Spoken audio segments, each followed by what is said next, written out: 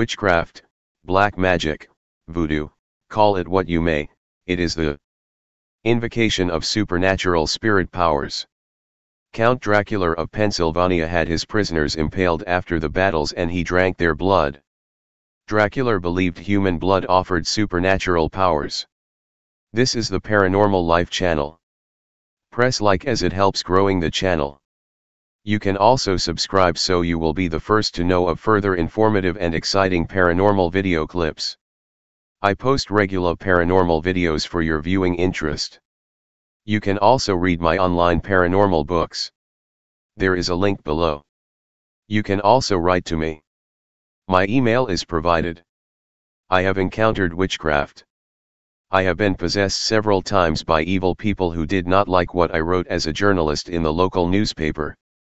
People also bewitched me for their own selfish ends. But I survived it all. Let me tell you what I encountered. These evil demonic beings are so powerful they can harm you in many ways. During one demonic possession I was aware of two archons or evil jinn.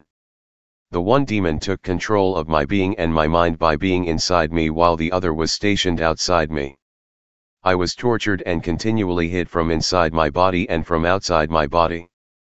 On one occasion the one demon yelled inside my head, You are strong. They imitated everything I did. When I ate food, they also ate sitting next to me. When I go to bed they also went to bed. Nothing helped. It only left me when the person who did the evil spell against me died.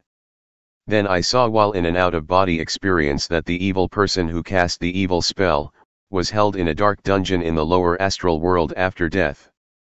The two demons were torturing him now. Anyone can do evil witchcraft by following the rituals, but you must bear the consequences because you have just given your soul over to the devil. I have seen people pay a witch doctor to perform a love spell. The person was instructed to bury a doll with a wedding ring on the finger in front of the beloved's door. I don't know whether it worked, but I consider black magic spells as evil. King Solomon excelled in white magic, the good magic. Religious texts preserved his uncanny feat King Solomon had powers over elemental beings, over demons, and angels. Witchcraft is very much part of the modern world and practiced for various purposes.